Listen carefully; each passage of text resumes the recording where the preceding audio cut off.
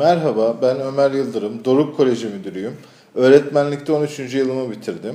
Doruk Koleji olarak amacımız öğrencilerin gelişim süreçlerinde en önemli evrelerden biri olan ortaokul yıllarının hem akademik olarak güçlü geçmesini sağlamak hem de öğrencilerimizi sosyal ve kültürel olarak geliştirerek iyi bir liseye uğurlamak. Bunu gerçekleştirmek için alanında son derece uzman, tecrübeli bir kadro ile çalışıyoruz. Başarıyı yakalamamızdaki en önemli faktörlerden bir tanesi öğretmenlerimizin sınıf hakimiyetlerinde güçlü oldukları kadar yapmış oldukları rehberlik ile öğrencilerin psikolojik gelişimlerini de yakından takip etmelerinden geçmektedir.